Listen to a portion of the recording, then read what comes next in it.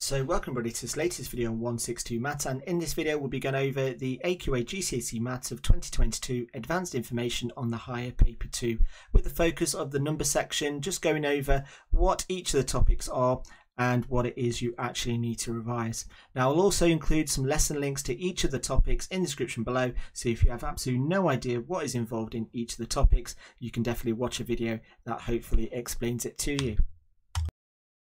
So what you can see on the screen is basically the list of topics in the number section for higher paper 2 and in this video what we're going to do is we're going to go through each individual topic that you can see and generally talk about what's involved in each topic and also have a brief estimate or guess as to what type of question could come up in your paper. So looking at prime numbers and cube numbers. Now with regards to prime numbers, one thing that you need to be able to know is know the correct definition of a prime number. Now the correct definition of a prime number is a number that only has two unique factors. So one being itself and the other being one. So it's really important that you don't just say that a prime number is a number that's got uh, can only be divided by one in itself, because by that definition, what could one could be interpreted as being a prime number, which it clearly isn't. You also need to remember that 2 is the smallest prime number and also the only even prime number. All the other prime numbers are odd. Now, if you want to find out whether a number is prime, you can use the fact feature on your calculator. Now, if you've got a Casio calculator, let's say you want to check to see if 123 is a prime number. So if I enter the number and press equals and then press shift, now if you've got a Casio calculator, you should have like a fact feature, which can be found as a shift function just above the button that's next to the negative button. And if I press that, now if it comes up with the product of a prime or a calculation involving a multiplication, that basically says that the number is not prime. So therefore 123, although may seem like a prime number, actually isn't. So if I then typed in, let's say 11, which I know is prime, and press shift. And fact the fact that that number doesn't change means it's a prime number. So again if I went crazy and just went for uh, this number which is 178,563 I want to check if that's a prime number. So press shift. And fact no it isn't because obviously a product it can be written as a product of its primes Moving on to cube numbers, again, you need to be able to know how to, now in terms of remembering your cube numbers, I would say that's not really essential as this is a calculator paper. But one thing you do need to be able to know is know how to enter cube numbers and also how to check for cube numbers as well. And you can do that by using the cube root. So for this, if let's say you want to check if a number is a cube number. So for example, let's say we want to check if 64 is a cube number, which we, you should know that it is.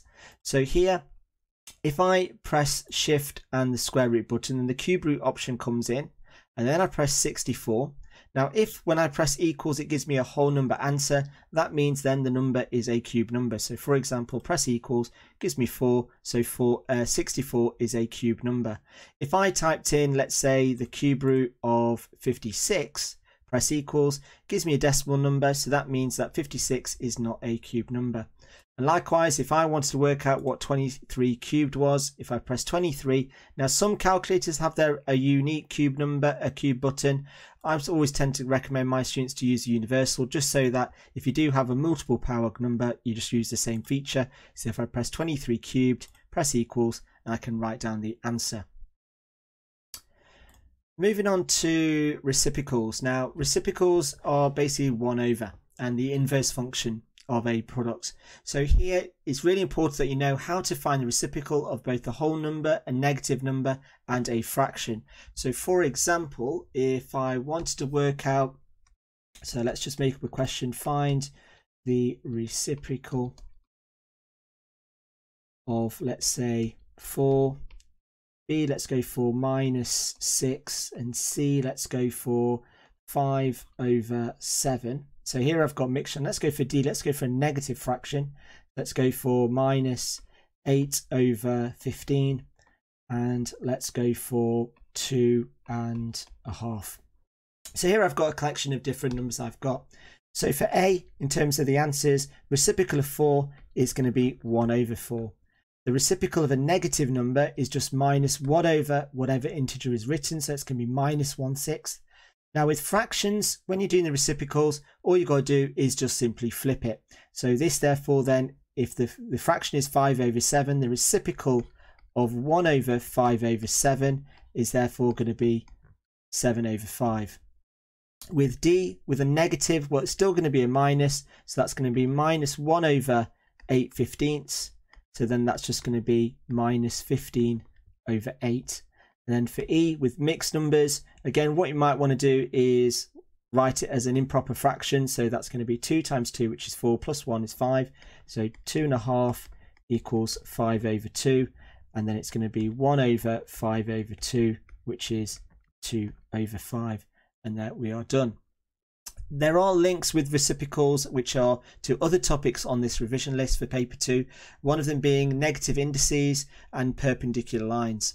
Now, also what you need to be able to know is know that multiplying a reciprocal by a number is the same as dividing by the number. So what I mean by that is, let's say I want to do 5 divided by 2. Now, let's say for argument's sake that the division button doesn't work. So what I could do is I could do 5 times, but then I'm going to do the reciprocal of this number, which is a half. So both of them would give me an answer of 2.5 and likewise you can work the reverse. So the reciprocal of a number is kind of like the opposite of or basically the same as dividing the next topic we move on to is decimal places. Now, in terms of what you have to revise with regards to decimal places, I would say you need to understand and know place value and also know how to write place value as fractions. So what I mean by that is if I had the number of 2.12345 and let's say this one represents a tenth, and that represents 1 over 10 as a fraction. The 2 represents a hundredth. So then that's going to be written as 2 over 100. The 3 represents a thousandth. I can spell it. And so that's going to be 3 over 1000 as a fraction. The 4 represents a ten thousandth. So that's going to be 4 over and then 10,000. And the 5 represents a hundred thousandth.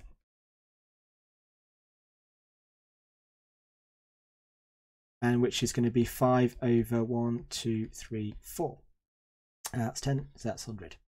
And so also you need to be able to know how to round decimal places. And again, if your rounding's not great, I'll include a video in the description below that goes through the whole of topic of rounding with decimal places. And also there's going to be links to bounds as well. That's also going to involve decimal numbers, which again, bounds is mentioned, uh, I think next. And here we go. Nice little segue.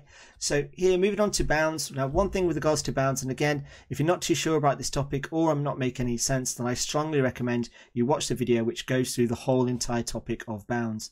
Now, with this, you need to be able to know how to find the upper and lower bound of a rounded number, and that's with decimal places, significant figures, and numbers to the nearest 10, 100 uh, units, 1,000, 10,000, etc. From this, you also need to know how to write error intervals. Now, the error interval is basically the lower bound, which it can equal to. Then you've got the number, and then you've got the upper bound. Now, note that the inequality just before you write the inner bound number doesn't have an equal sign. So that's how you write your error interval. The next thing you need to then know is know how to get the maximum minimum values of calculation. So for example, if you wanted, when you're adding, then and you've got A plus B, then to get the maximum, the minimum number, you want uh, the big, the smallest A and the smallest B. And for the max, you want the biggest A for two G's. Let's go for one. So you want the biggest A and the biggest B. Now when you are subtracting, you're doing A minus B, to get the biggest number, or to get the minimum, the smallest number, you want the smallest A and the biggest B. To get the maximum number, you want the biggest A and the smallest B. When you're multiplying, that's going to be the same as uh, same as adding and when you are dividing or here what you want to get the minimum value you want the smallest A and the biggest B. And to get the maximum number, you want the biggest A and a small b. And they, that's how you can get your bounds in terms of the upper and lower bounds in terms of calculations. Moving on to fractions and particular products. So the word product basically means multiply. So this, this particular information that they've given you is basically knowing how to multiply fractions together. Now for this, you also need to know how to multiply fractions that are written in mixed number form, also know how to convert mixed numbers into and from improper fractions, and know how to correctly work with mixed numbers on your calculator. So if I get the calculator back, now if you're not, you should probably already know this, but let's say you want to work with mixed numbers. Now, to get fractions, I would strongly recommend students to always use your fraction button.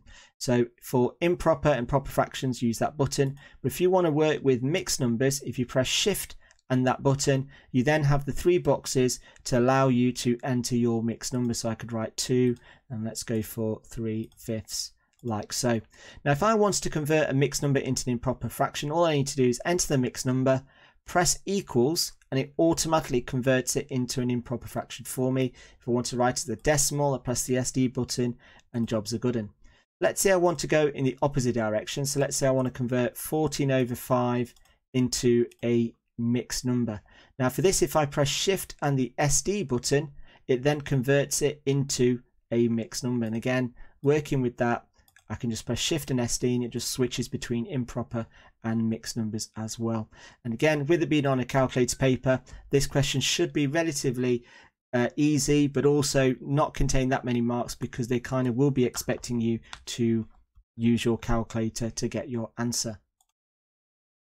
And that leads us on to our last topic, which is indice, negative indices. So for this, you need to know that a negative power means the reciprocal of the base and its power integer and also that this particular topic is links to reciprocal which we previously mentioned but also perpendicular lines in the geometry and measure section. You also need to know how to use the laws of indices and use these with negative powered indices. Now remember that there are seven uh, or eight laws depending on how you split it or how you've been taught it that you need to be aware of. That includes powers of zero, powers of one, brackets, fractional powers, etc.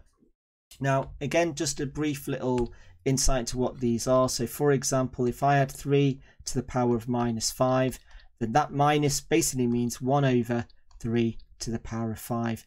If I had 3 to the power of minus a over b, then again, all that means is 1 over 3 to the power of a over b in fractional powers.